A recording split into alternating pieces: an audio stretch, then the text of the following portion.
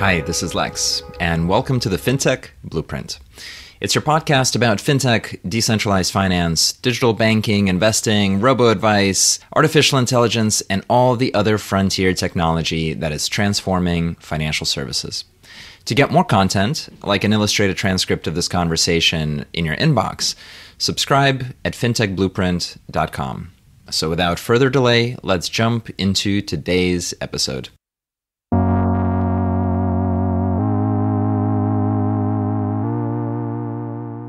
Hi, everybody, and welcome to the podcast. I'm super excited for the conversation today with one of my friends and most influential people in the UK fintech scene, Simon Taylor. He's the head of strategy and content at Sardine, which is a modern compliance infrastructure. We'll talk about that. He's also, of course, a co founder of 11FS, one of the core UK digital banking leaders, uh, founder for the Global Digital Finance Organization in the UK, focused on blockchain has a background in blockchain at Barclays, as well as an innovation and tech background at TSYS. So, all around, really deep in fintech, and we're going to have a fantastic conversation. Simon, welcome to the podcast. Lex, thanks for having me. Excited to be here. Oh, my pleasure. If anything, I have to apologize for taking so long to get you on here finally you had a lot to do. You're a busy guy. You got lots to write, and you've had some amazing, amazing guests. Frankly, I'm honored. So thank you so much. I was I was busy liquidating Three Arrows Capital uh, right right before this call. I had to go do that.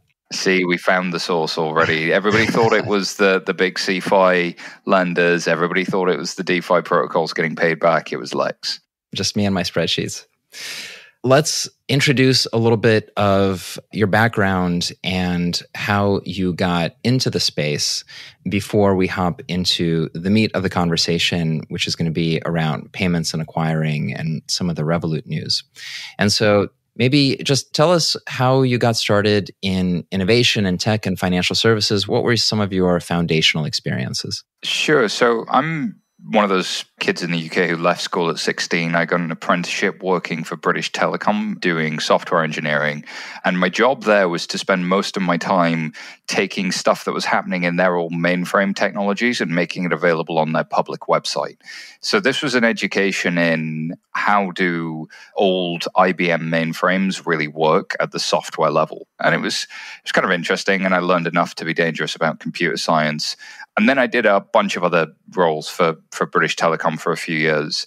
In 2008, I had a health issue and then sort of reevaluated what I wanted from life, built a couple of businesses, and then eventually closed those. And then eventually the money ran out and I had to get a job. And that's when I started working at a company called TSYS TSYS is an issuer processor, so their clients would include folks like Capital One, NatWest Group, ING in the Netherlands, and they are probably best described as the IT department for credit cards and debit cards for, for a lot of banks. They would help with everything from producing the card to the mainframe infrastructure to all of the software you need to manage it on your website. And my job initially was to work in the data center. So now I understood the plumbing with my hands a little bit better. I found myself working in a department with a bunch of folks who were ex army who knew I'd talked my way into the job. And instead of like engaging with that and admitting that I didn't understand fintech at the time, I would go hide in the bathroom and read Twitter on my Blackberry and I would be reading about things on TechCrunch and this thing called Sibos and this fintech that was starting to emerge. And I got really inspired by it, frankly. I got super inspired and I started emailing people internally about, hey, we should do something with this. And instead of firing me, they created a job for me as the head of innovation. And my job was to build new products, sell it to the first customer, and hand it to the sales team did that with a mobile app in, in 2011. It was the second mobile banking app to launch in the UK market. And we were able to get that to market really quickly because I found a supplier who understood the mainframe, who was already connected. So that career history had really come together really nicely as, uh, on a practitioner level. But I was also given an education in how the business side of credit card issuing worked from, from that team that I worked with, and very grateful to all those folks. I was then headhunted by Barclays to come lead some mobile payments change for them. So now I'm getting experience not just of the cards world, but local clearing, as we'd call it. So faster payments, SEPA, SWIFT payments. How do all of those work and how do you make them work in a mobile app? And that was good experience. Enjoyed it a lot, certainly took a lot from it. But I was then asked by the then chief digital officer to help them set up the platform Barclays Rise, which, if you Google it, is an innovation platform. And I was on the, the founding team of that to really work with fintech and bring Barclays into the fintech space. I helped run the the London side of that. It did really really well, and I, I learned a lot about sort of VC and investment and startup culture, and, and, got a lot lot closer to that, and became a translator of the startup world back into the bank. And while doing that, I was always a video gamer. I always had Nvidia cards. I'd, I'd looked at Bitcoin and dismissed it, but sort of got really attached to the Ethereum community and the initial Ethereum white paper. And I was inspired by the idea that if Bitcoin was sort of a very blunt instrument like a machete, then Ethereum was a Swiss Army knife that was going to be potentially uh, unlocking a lot more in the world. I didn't know what specifically at the time, but it just instinctively felt right. And I went to the first ever London Ethereum meetup where Charles Hoskinson, of all people, gave a talk. Vitalik Buterin Skyped in. And having done that, I took that back into the bank. And instead of calling me crazy, they made me head of crypto R&D for, for the bank. And then I was gradually rolled out in front of all of the folks in the bank to explain what crypto was to the head of AML, to the head of compliance, but also to regulators and governments so now I'm getting an education in how they think and what their worries are about crypto. And that's that sort of led me to going to found 11FS to, to sort of scale that knowledge. So that brings us more or less up to date and hopefully gives you a, a flavor. And what a delicious flavor it is, you know. And I think there's not much difference between being the crazy person or being called crazy and being given the job of figuring out crypto inside of an investment bank. so true. And now you are at Sardine, right? Yes. So, having enjoyed the journey of, of being a part of uh, 11FS for the last six years, I really wanted to get closer to everything happening in crypto and fraud. And Sardine's customers includes everybody like FTX and MoonPay and Brex, and to learn from founders like Soups and Adi and Zahid how they think about data and how they think about on chain and off chain, and how you can really start to bring compliance into the Web3 space is, is really nuanced and, and an opportunity to learn that I got extremely excited by. I think that if we are going to have a brand new financial system, an alternative financial system, then it's going to need liquidity. And if we're going to get liquidity into it, people are going to need confidence. And if we're going to confidently move money into Web3, then we're going to need to figure out where all the risks are and where all the problems are. So the opportunity to learn that was hugely exciting. There's a thread that's really compelling to me, kind of through your background, which is valuable to the listener, right? Which is that where you are now is probably a pretty good indicator of what's happening next because you've been pretty on trend in terms of your career choices, in terms of following the frontier in the financial industry, but towards where it's evolving, right? So whether it's getting mainframes online, whether it's figuring out how to do digital issuing or how to do mobile banking apps in 2011, or whether that's figuring out how to modernize an entire banking platform and start thinking around integrating blockchain into it. You know, and I think just again to point out the judgment that kind of the next frontier for you is how do you get transactions and commerce inside of a Web3 environment to kind of simplify it just to be safer and to be a good place for people? To me, that's a vector that connects. And the other thing I want to kind of frame up is, and I've been struggling with this idea. I really, it's a bit challenging for me because I have a similar vector, but my vector comes from the investment management side of the world. So I felt very comfortable with this capital markets version of what Web3 has been. And, you know, I feel more uncomfortable with the direction where it's going, but I think is the more correct direction, which is commerce payments and real economic activity. So things like acquiring, things like merchants, things like you know, treating seriously the idea that there is a Web3 GDP, I think is the direction that we're going. As a very broad question to you, I wanted to get your impression on this connection between payments, banking, and commerce. People making things, selling them, and then how finance just starts to get its gears into that activity based on your experience. Yeah, it's very helpful if you're selling something to be able to get paid. And there's always been a number of ways to get paid. And if you go right back to first principles, I could try and exchange your family pet for a cabbage. But what's one family pet worth? How many cabbages is that worth? You know, barter is particularly frustrating. So we invent cash. Cash you know is particularly hard to challenge uh, travel at scale because the problem with being carrying around a million dollars in cash is you're probably a target for for being attacked. So we invent checks but that's pretty hard to accept and make sure it won't bounce when you walk into a store or when you're just trying to buy some groceries. So, of course, along comes cards in the 50s and 60s, Bank Americard, MasterCard, Discover, Diners Club, etc. And their key innovation was to be able to promise the merchant they would get paid and allow everything else to get figured out later.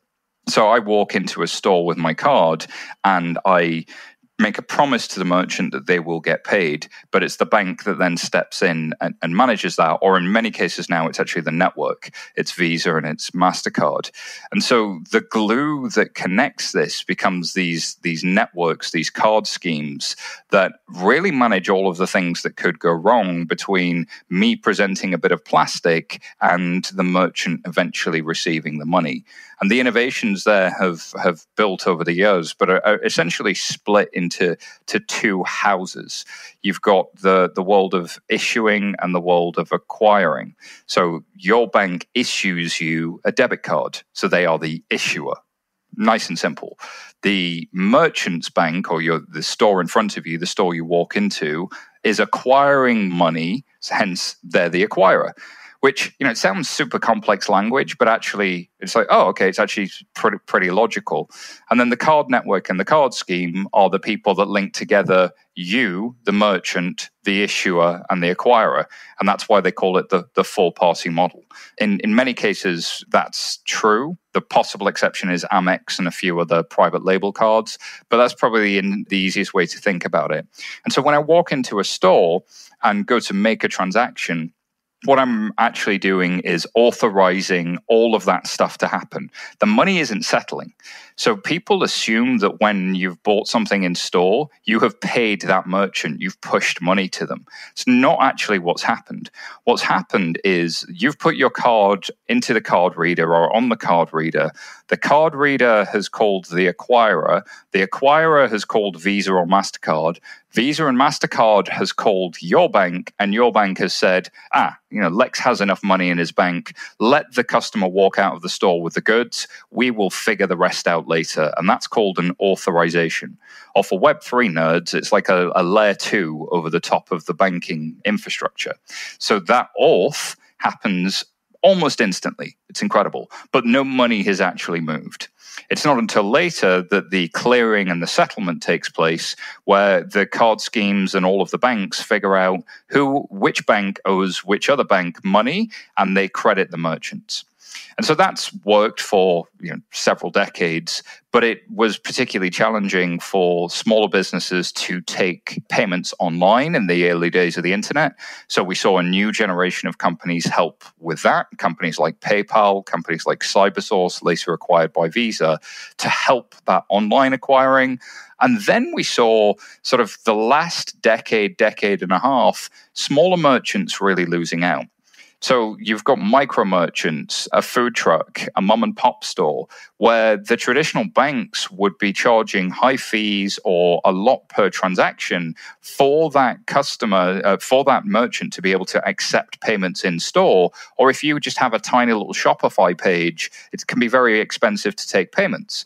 So you get this new generation of fintech companies, everybody from Square to Toast to iZettle to everything in between, that launch really simple, easy to use products that innovate on the user experience and innovate on the pricing to be able to make all of that come together. So that's like my whistle stop tour of, of kind of payments at the highest level. And there are probably payments experts and nerds out there pointing out several technical inaccuracies, but I hope that that was a good enough broad explainer for everybody.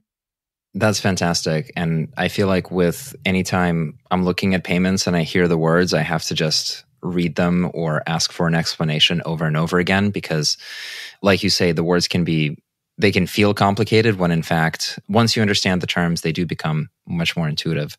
I have a question that i've never quite figured out about acquirers. So i kind of think of them almost as institutional salespeople. You know, so if you have like an asset management fund, and we share this terminology, right? So an asset manager will manufacture a fund, and then they need that fund to be living inside of a bank or financial advisor footprint or some wealth manager. They'll have institutional salespeople that'll go and distribute that fund to the interface that touches consumers that touches end investors and users. And so, similarly, in my mind, acquirers are kind of like this in the sense that they go out and they go and distribute to all of the merchants. And the question I'm curious about is like, actually, do you have an idea for that go to market motion? Like, how does a bank, how does an acquirer go out and, you know, sign up these shops? Like, do they show up with like a contract and try to convince the, the person at the checkout counter? Or like, how does that work? It depends. So you've got to consider the scale of the merchant. So if your merchant is Walmart, then you better believe that the banks have an army of salespeople that are, you know, trying to know everybody inside that organization. They're probably doing bits of treasury management for them. They're doing FX. They're helping them with interest rate swaps and, and credit defaults and blah blah blah. They'll have this big complex relationship, and as part of that relationship, they're going to try and be the primary acquirer for, for everything they do. But of course, a merchant that size has a lot of buying power, probably wants two or three banks and, and acquirers in the mix. So on the, the deep institutional side, it, looks like any enterprise sale. It's very complicated. There's probably multiple partners involved.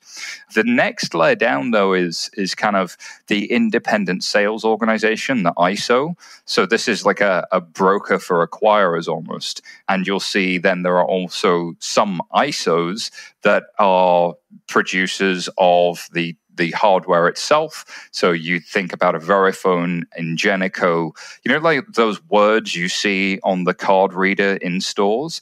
Turns out those are companies and they do an awful lot of work themselves and they work with acquirers and in some markets they have acquiring divisions and so on. So there's that layer in, in the in, in the piece as well. So that's independent sales organizations. And they're split into wholesale and retail, and there's a whole bunch of subdivision there. And then there's even a layer above that. So the innovation Stripe came up with is that they are not actually an independent sales organization, they are a merchant. So, oh, at least they were in the early days. They, they may be more complex now. And what being a merchant allowed them to do was manage a lot of the complexities that traditionally the acquiring industry pushed onto a merchant.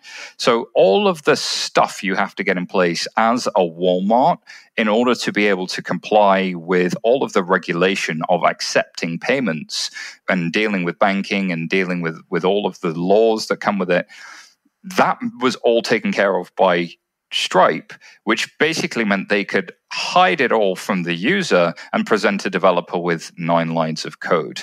And that is, is what really sort of took us to the next generation of micro merchants and small merchants who are often considered yes, master merchant and sub merchant. So this is a layer cake that goes all the way up from acquirer to ISO to master merchant to sub merchant. Super interesting. So I think MoonPay is also set up as a merchant. They're set up as a merchant of crypto assets. And then on the other side, they use Zero Hash to connect into a market venue of the stuff. So there is structural arbitrage here. Further question around this idea. So I imagine that at some point when you get to really kind of micro merchants like the, you know, the hot dog cart or the independent comic book publisher, you start getting into the world of Square and all the various dongles that would attach to the phone and are now kind of in the app. And you get from the sort of push enterprisey acquiring, going out and acquiring merchants, to something that looks a lot more like a pull marketing strategy, where you're generating demand and demand is going to you to buy point of sale terminals or whatever. Can you pull apart for us these ideas at the end of the really small business and then maybe also carve up the differences between what I'm guessing are you know gateways and processors and all sorts of other software that attaches to the core business model yeah, I, I, guess the biggest thing to think about is actually just starting with that business model point. If I was Walmart, the the sticker price of a square, the sticker price of a stripe is is ludicrously expensive. It is almost impossible to justify that for the volume of transactions they're doing. So for them, it's worth doing the extra work because if they are seeing billions, possibly even trillions of dollars of trade coming through, saving, you know, in, instead of paying $2.50 plus 30 cents, or sorry, 2.5% plus 30 cents on every transaction, if they can get that down to 1% plus five cents, my goodness, you better believe that hits the bottom line and the fine margins really, really matter. But if I'm a hot dog stand, then 2.5% of a hot dog is not a massive amount of money. And actually, it probably increases my sales much, much more to be able to accept cards than it does cost me. So the the value proposition is fundamentally different to the hot dog side. Can you tell it's lunchtime when we're recording this? I'm, I'm you're you're yeah you're negotiating over like two and a half percent of a hot dog. Yeah, vegan hot dogs are also available and good. You know, like I'll take everything, but the nature of that business model is fundamentally different. And the other thing that you prioritize is dealing with all of that abstraction. So where I would have gone to a gateway historically in a payment service provider to set up an e-commerce website. And then separately i would have gone to an independent sales organization who might have connected to a processor who might have connected me to an acquiring bank. My goodness that was a lot to put together. The likes of square just hide all of that from you. And behind the scenes there's an acquiring bank. Behind the scenes there's a processor. Behind the scenes there may even be gateways or they may build their own. But what they're doing is they're packaging all of that together and distributing it neatly to the small business who effectively is getting a consumer grade experience and pricing that doesn't impact them from a unit economic standpoint nearly like it would the go to market motion of, of, of, a big acquirer. Um, processor is an interesting term. There are issuer processors and acquirer processors. So if you think about the role that a bank is playing, the acquiring bank and the issuing bank is holding the account on behalf of the consumer or the merchant. The processor is the person that connects to Visa or MasterCard. The issuer processor is the person that connects to Visa on behalf of the consumer or business with a card. And the acquirer is the person that connects to Visa, MasterCard, or whoever the card scheme is on behalf of the merchant. Above that, you might get a gateway who helps you connect into many processors and accept many payments types and deal with many layers of complexity. But in order to work with the gateway, you probably still need to be a merchant. You may also then work with an independent sales organization to get the actual hardware itself. And that works if you're Walmart. It doesn't necessarily work if you are the consumer grade hot dog stand or whoever you are and whatever it is you're selling. So the pricing difference, the business model differs, and the go to market motion differs based on your unit economics of your customer and the problem space of your customer. They say disruptive innovation is segmenting the market, going after the people who are least served and working your way up. It's exactly what Stripe did, and it's exactly what Square did, because the unit economics that the industry worked with historically worked for very large merchants, but it was very hard to get there to justify going after these smaller mom and pop stores, especially via a branch network, which was their distribution, and offer them anything like the kind of upfront fees that a Square would or an iZettle would because they they were fundamentally thinking different about how they make money and what their cost structure was.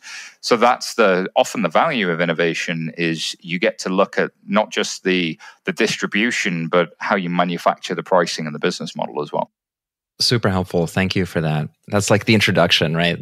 I want to switch us into a piece of news that came out about Revolut. And the piece of news is that Revolut Business, which is their I guess their product stream focused on business accounts, which historically have been depository accounts, launching an acquiring solution, I think in something like 29 European countries. And this feels like a very adjacent play. There are not a lot of neobanks that have gone from, you know, we're going to have users and manage their money at rest, you know, and maybe monetize through their spending on a card to being in the business of going out to merchants and trying to be their solution from a commerce perspective. Now, the only exception in my mind in the sort of modern world is looking at Square and seeing Square starting from being embedded with all the merchants and enabling payments and then getting out of that market position into a position where they are you know banking the merchants where they're offering the bank accounts and then they're building out cash app with the retail users and sort of building that empire out of acquiring. How do you think about Revolut's entry? Like, how would you even characterize it in terms of what they're doing? Revolut is a blitz scaler. If you look at what they've done, they've gone into as many markets as possible as quickly as possible. They've thrown as many features at consumers as they could as quickly as possible. And some of them are stuck, some of them haven't. And it's it's enabled them to to scale, but it's also meant some experiments failed. And if you then look at their business side of the house, business customers are potentially quite a little bit more attractive than consumers. They tend to have higher deposits, they have higher expenses, getting 1% or even 0.5% interchange on a monthly spend of $1,000 is nice. Getting that on a monthly spend of $10,000 or $100,000 is much nicer. So if you can get that customer, each customer is a lot more valuable than the consumers. There's arguably less of them, but they can become very valuable. So your effort impact kind of goes up, especially if your distribution is near as low cost as it, as it is on the consumer side the the step into business made sense. And in doing that, they claim to have about half a million business customers. That is not an insignificant amount of businesses to, to have that using the cards and using the product. And so it's natural then you would look to extend the product lines into those businesses. You've got a beachhead, you've got them using a few products. That's great. But a lot of these businesses, you would see their transactions and you might start to think, well, hang on a minute, they there's a lot of these that are Shopify merchants. There's a lot of these that are physical stores, and they're using Revolut. Like that's naturally who's going to use the product. It's a simple, easy to use app. It's consumer grade. It's prosumer. This is what people are going to start to use. So they have this this foothold and this footprint. And if you can see in the transactions that people are trying to acquire payments and they're doing it with someone else, why not launch that product and make it available to A, your existing customers, and B, the customers of tomorrow who will come and use it, come and use Revolut, and then be naturally select Revolut as the, the provider, because why not just have it all in one place of acquiring? So I think it makes sense. It's product extension, especially when fintech companies are chasing profitability and new sources of revenue product extension just makes logical sense to me. The sort of question you're toying at about does it lead to an end game? I think is an interesting one that we should unpack because you alluded to, you know, where Square is going, where PayPal is going. They have lots of consumers, they have lots of merchants, but have they ever really got that flywheel kind of where they're able to reactivate consumers and they're able to bring them back to merchants and they're able to be more valuable to merchants and that data flywheel that has been the holy grail of financial services for at least a couple of decades. And, and we have to kind of unpack why nobody's achieved it yet. And I think the, the reason nobody's achieved it yet actually goes down to the infrastructure. A lot of data gets lost as soon as you make a payment. So imagine you are being targeted by Google. You're looking for what to go buy. You're picking a bunch of transactions. You're picking a bunch of products. You're shopping around. You're being retargeted. Maybe you see something on social media. You eventually go to a price comparison website. You land on a couple of merchants. They start to try and pull you down into their checkout funnel. Loads of data happening here to try and enrich it, to try and upsell you, cross sell you. And then you go and hit pay.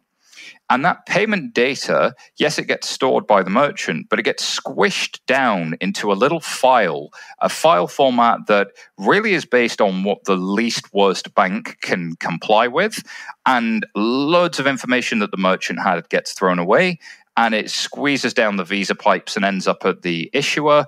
And so all that's really left is this this fraction of the information that was really known about you the customer and why you got to that purchase intent and buying decision unless the merchant can actively retarget you and, and kind of do that. And that data flywheel gets broken in the cards world and it gets broken in many other other payments types. The only notable exception to that is buy now pay later so buy now, pay later companies like Klarna, Afterpay, and Affirm have invented their own payment mark.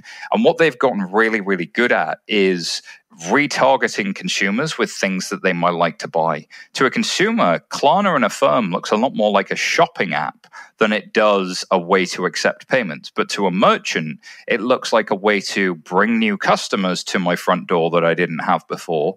It gives me higher conversion, higher average order value. So it, it becomes the ultimate no brainer.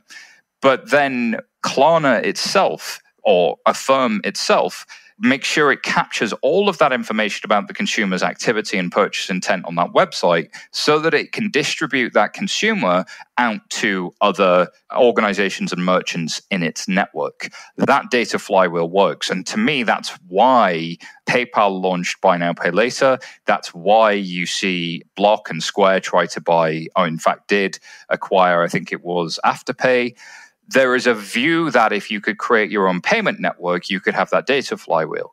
However, creating your own payment network is always going to have limited upside because there are now, instead of there being two ecosystems of Visa and MasterCard, there's like 15. So, which ecosystem are you in? and which merchants are in it, which consumers are in it. You end up in, in this kind of fragmentation where the data works inside the walled garden really, really well, but outside of it, it's still useless. So there are trade offs there, and I don't think it's the perfect answer, but hopefully that kind of goes to towards where you were steering us. That's fantastic. Very clear thinking on that problem. I have two small questions as I know we're coming up against time. The first is if you look inside of a traditional bank, whether it's a Barclays or you know Wells Fargo, you described acquiring as a product extension from business banking. Again, if you look into any regular bank, is that the case that you park business banking next to the acquiring businesses? Do they talk to each other? Maybe potentially by reorg, but most big banks are roll ups of they, they look like a family tree you know they've acquired countless banks and countless other organizations over multiple decades.